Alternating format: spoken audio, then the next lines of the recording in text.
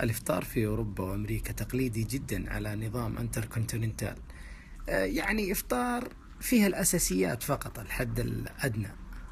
المواقف متوفرة في سويسرا لكن غالبيتها غير مجانية.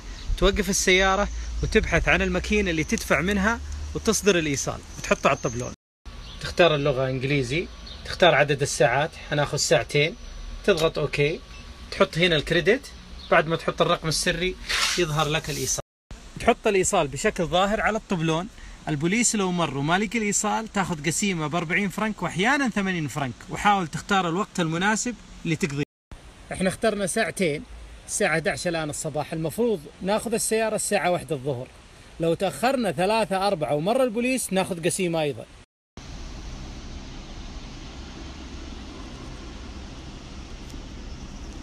شلال ستوباخ بالقرب من إنترلاكن.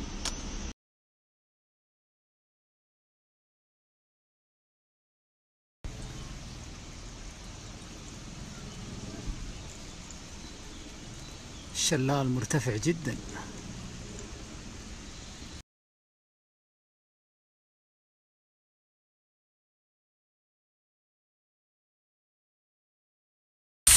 الآن رسميا خلف الشلال دفع الموية قوي.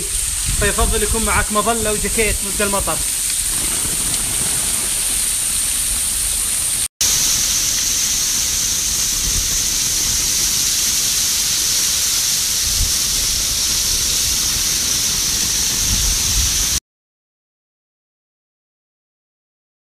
هذا وادي لوتر برونن من أجمل الوديان في العالم في عدة معالم. هذا الشلال ستوباخ ثم شلال تروملباخ وينتهي بقمة شيلث هورن.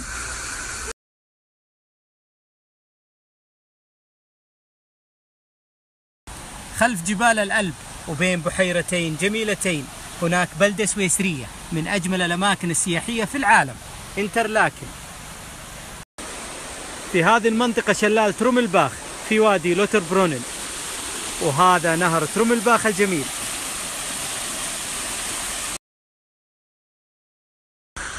ما أجمل هذا الوادي. الجبال تصب منها الشلالات.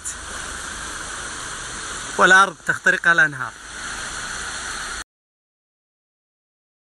الصعود إلى شلال تروم الباخ بطريقتين إما تأخذ المصعد إلى المرحلة السادسة وتكمل درج أو تبدأ بدرج. رأيك أبو معاذ؟ توكلنا على الله.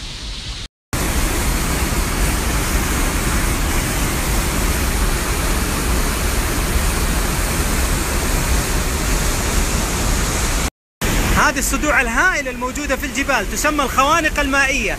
تشكلت بسبب ضغط المياه عبر ملايين السنين. الماء أقوى قوة في الطبيعة.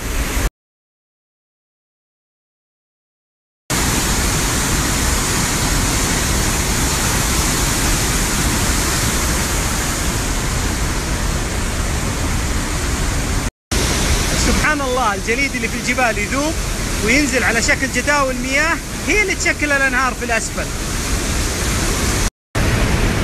هذا الشلال الهادر يعتبر ضعيف عند الشلال اللي حفر هذه الجبال. طبعا في العصور المطيرة قبل آلاف السنين.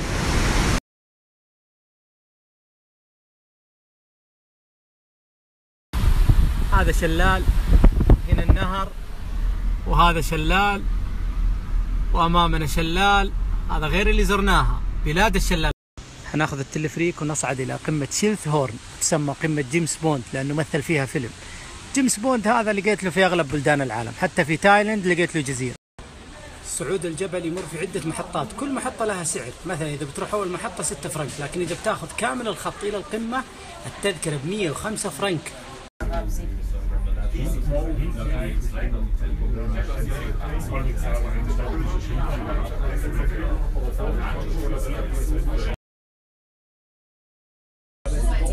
هذه الثلوج تكسر قمم الجبال تنزل على شكل جداول وخوانق مائية وتشكل هذه الأنهار.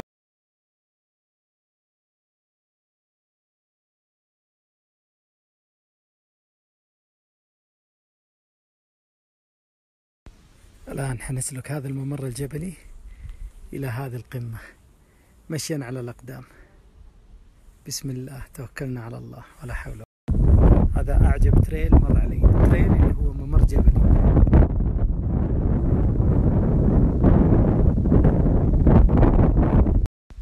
وصلنا القمة. ولله الحمد. هذه هي جبال الألب السويسرية. جبال الألب تشغل عشر مساحة أوروبا. جبال الألب أكبر سلسلة جبال في أوروبا. تمتد على مساحة أربع دول. فيها مناظر طبيعية خلابة. لذلك استغلتها سياحيا هذه الدول. يرتبط الشعب السويسري ارتباط وثيق في جبال الألب. زرعوا سفوحها وبنوا عليها قراهم والآن يستغلونها سياحيا بل أنها أصبحت شعارهم أوروبا قارة صغيرة من ناحية المساحة يقطنها عدة شعوب والعجيب أن لغاتهم مختلفة وثقافاتهم مختلفة رغم صغر المساحة. ما السبب؟ السبب هو جبال الألب. رغم قربهم من بعض إلا أن وعورة المنطقة أدت إلى صعوبة الاتصال بينهم فهم متجاورين متباعدين.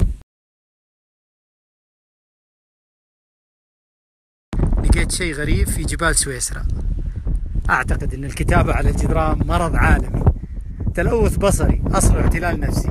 موجود في أغلب دول نحتس القهوة على ارتفاع 3000 متر في انتظار عربة التلفريك. أبو معاذ كيف نعرف وقت التلفريك؟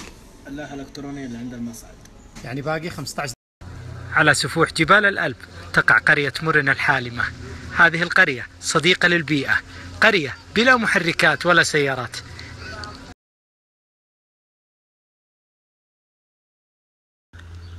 بوريكم إطلالة هذا الفندق.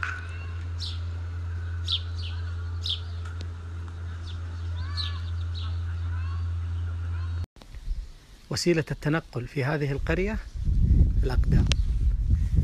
اللي ما يمشي هنا وين حيمشي؟ هذول شيبان الديرة. هذول أهل مرن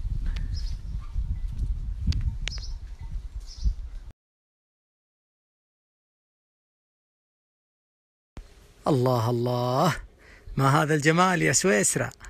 ليلة في هذا الكوخ تعادل الإقامة في أفخم منتجعات العالم.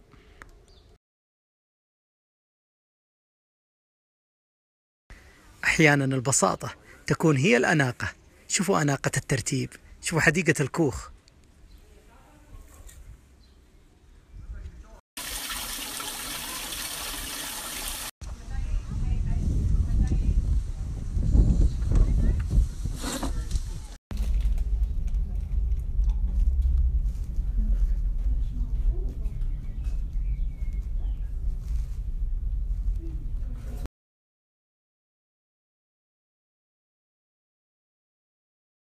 دخلنا التلفريك من بوابة آلية من هذاك الاتجاه وحنطلع من هذا الاتجاه لكن لازم نحاسب على المواقف من الماكينة عشان نطلع آلية.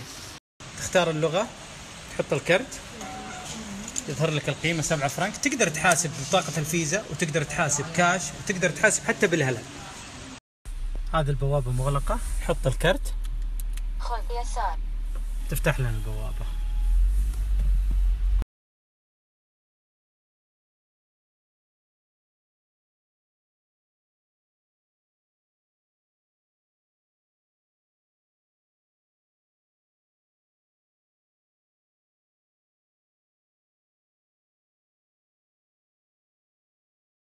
بنطلع إلى قرية جميلة اسمها وينجل أيضا صديقة للبيئة ما فيها سيارات بواسطة القطار.